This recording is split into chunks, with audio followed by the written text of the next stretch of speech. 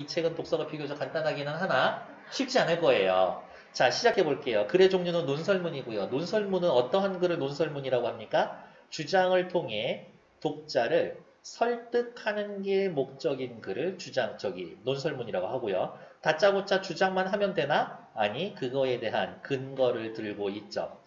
주장을 한다고 뭐뭐 해야 한다, 하지 말아야 한다라고 이야기했는데 다짜고짜 교과서에 나온 말이니까 무조건 믿으면 돼? 안 돼. 그래서 우리가 앞에 했던 거 뭐? 비판적으로 읽기를 해야 합니다. 라고 이야기를 하는 거죠. 인공지능 시대에 인간이 해결해야 할 과제. 세계적인 석학, 공부 많이 한 아저씨들의 견해를 인용해서 상황의 심각성을 부각합니다. 인공지능이 너무 많이 개발이 돼서 인류의 위협이 될 수 있어 라고 이야기한 유명한 과학자 이야기가 나올 거예요. 해결 과제를 기계적인 측면과 인간적 측면 두 개로 나누어서 이원적으로 접근합니다. 인공지능이 엄청 발달을 하면 기계적인 측면에서는 우리가 해야 할 일이 뭐고 인간으로서 우리가 해야 할 일은 뭐고 나눠서 얘기를 해줄 거래요. 의문문의 형식으로 상황에 대한 관심을 유도하던데 자 요거는요 그냥 외워두는 거야. 학교 교과서의 독서 지문이든 모의고사의 독서 지문이든 물어보는 게 나온다? 무조건 흥미 유발, 관심 집중 이거예요. 무조건 맞는 말이야 이거는. 구체적인 사례를 제시해서 주장을 뒷받침합니다. 어머 예시를 들고 있나? 근거 확인하시면 되겠죠. 인공지능이 개발하면 너무 좋을 것 같지 않아요? 네. 인공지능이 개발이 되면 너무 위험할 것 같지도 않나요? 네. 둘 다의 생각이 다 있다라는 거지. 어떤 사람들은 인공지능의 발달은 인류의 축복이다. 어떤 사람들은 인류의 재앙이 될 수도 있다라고 생각을 한대요. 터미네이터 그 시절처럼. 기계가 봤을 때 인간이란 존재가 지구 환경에 전혀 도움이 안 된다고 판단할 수 있어. 걔네들 입장에서. 그래서 인간들을 다 없애버리자. 이럴 수도 있잖아요. 인공지능 시대의 해결 과제 별표. 아, 요 지문은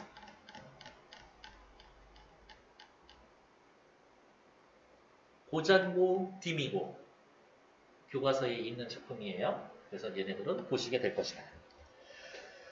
2학기 기말고사 때쯤 이렇게 방안 1. 기계적인 측면 인공지능의 기능을 지능을 통제해야 돼.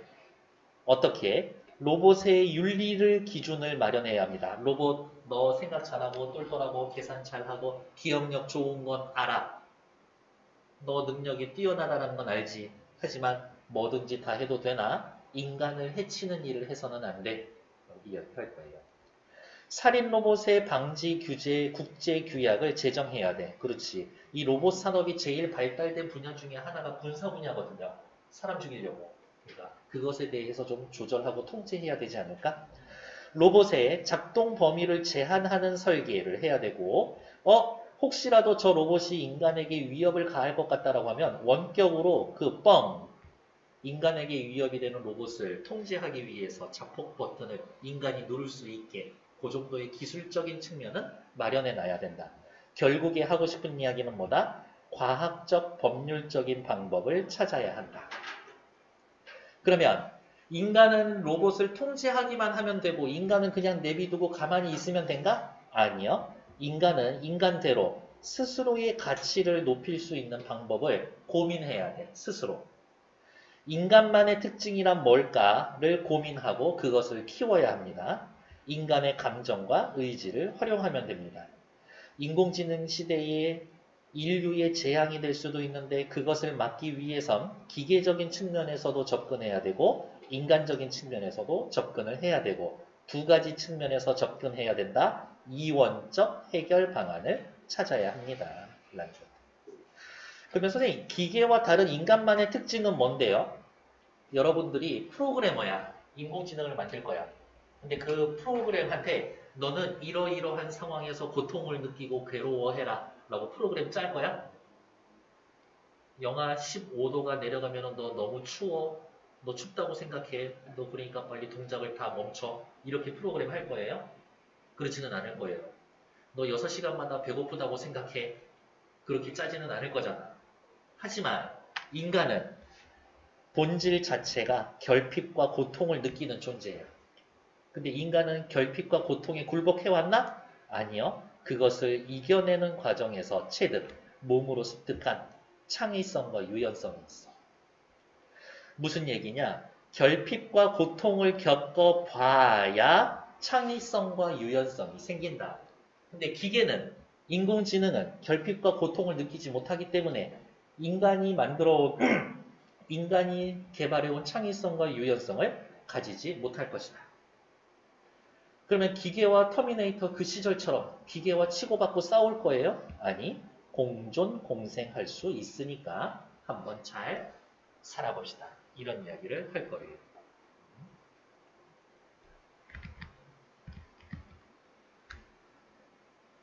쓸데없는 소리 하고 있어. 오케이. 됐고, 스티븐 호킹. 이 혹시 이 아저씨 알고 계세요? 분명히 본적 있어요. 인공지능이 인간의 말을 알아듣고 명령을 실행하는 똑똑한 기계가 되는 일은 반길만한 일인가? 물음표.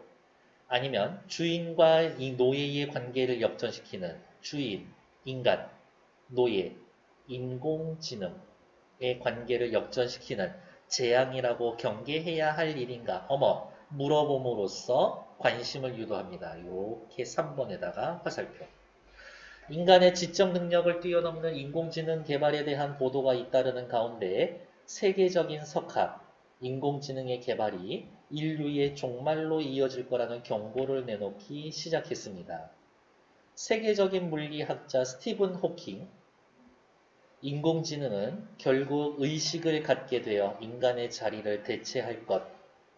근거는 생물학적 진화 속도보다 과학 진보가 더 빠르기 때문에 라는 근거를 바탕으로 인공지능은 의식을 갖게 되어 인간의 자리를 대체할 것이라는 주장을 보여주고 있고 스티븐 호킹이라고 하는 물리학자의 말을 인용하고 있다. 그러니까 미래를 좀 비관적으로 보셨던 것 같아요.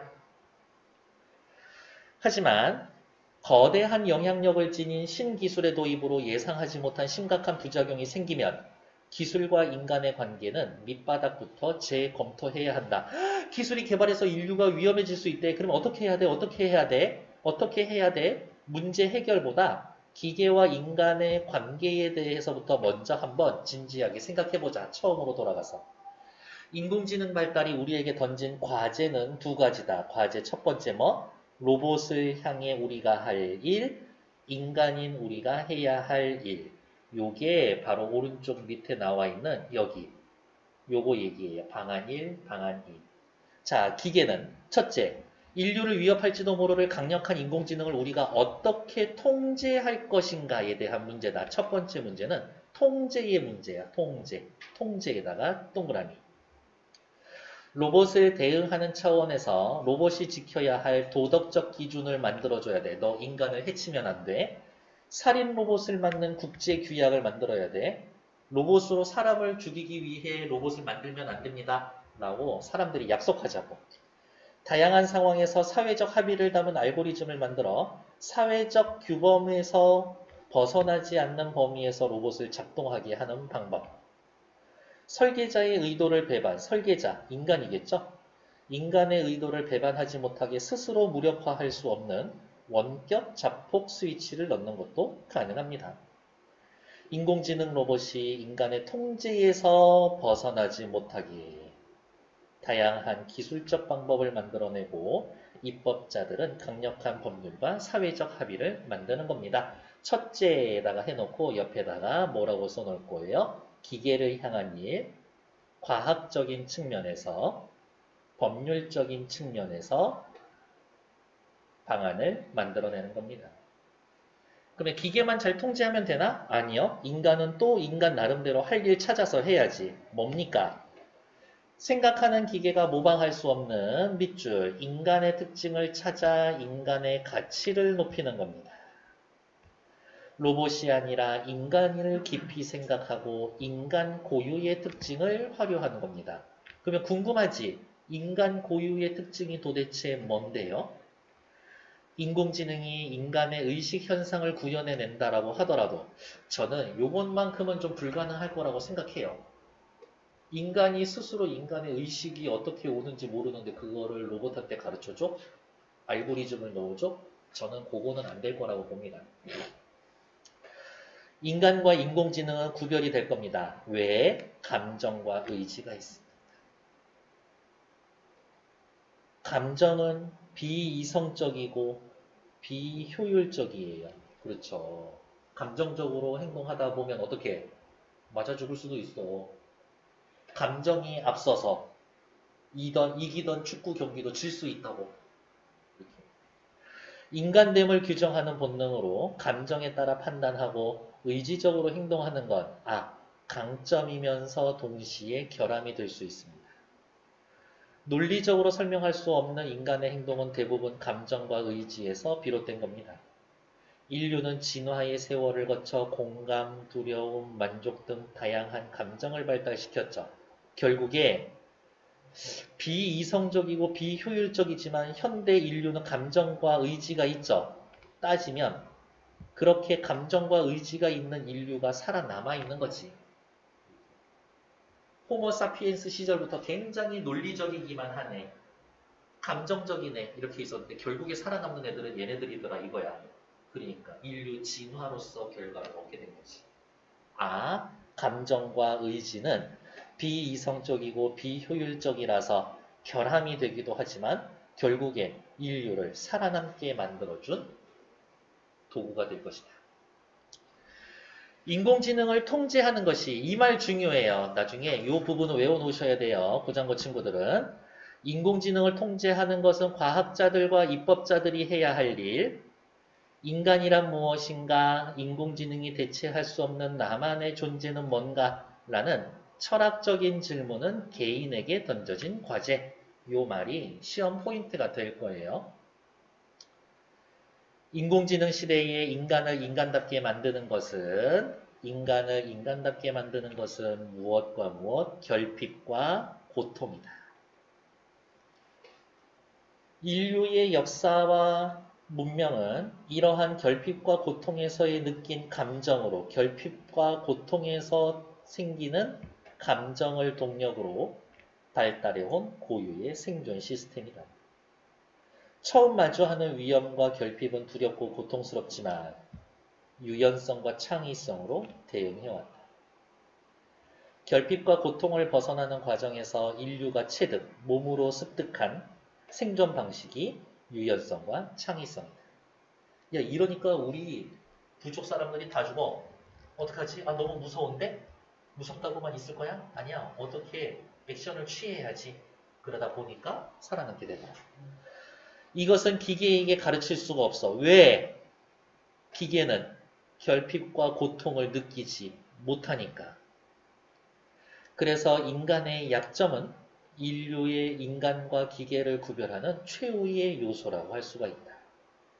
우리는 기계를 설비할 때 정확, 부정확한 인식과 판단, 감정으로 비롯한 변덕스럽고 비합리적인 행동, 망각과 고통 같은 인간의 약점을 기계에게 부여하지 않는다. 그러니까 약점이 있어야 창의성, 유연성을 발표하는데 기계는 창의적 유, 연성이 있지가 않아. 인간은 우리가 기계에게 부여하지 않을 이러한 부족함과 결핍을 지닌 존재다.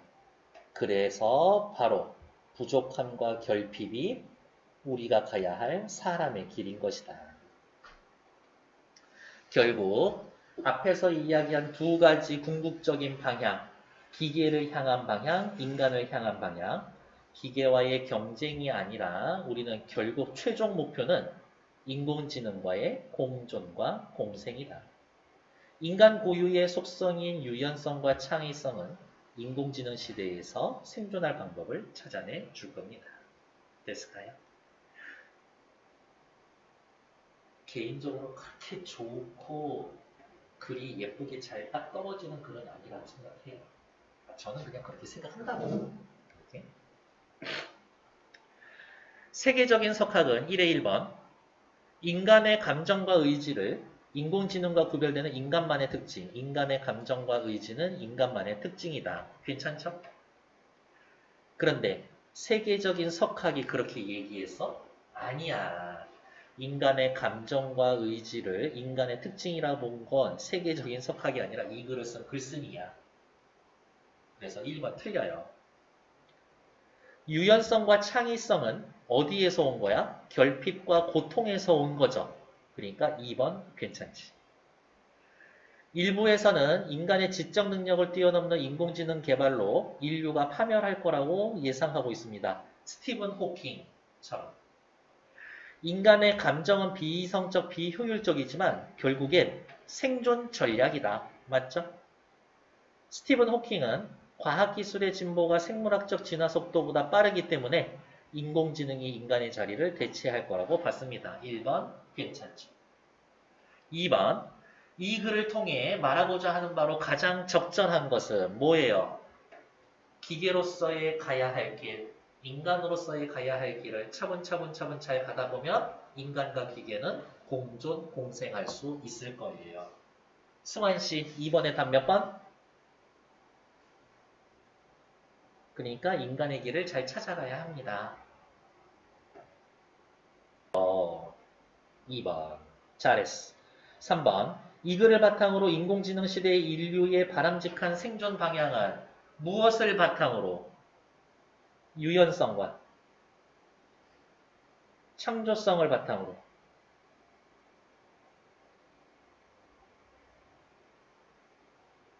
어떻게 살아가라고? 인류가 기계와 공존, 공생하면 됩니다.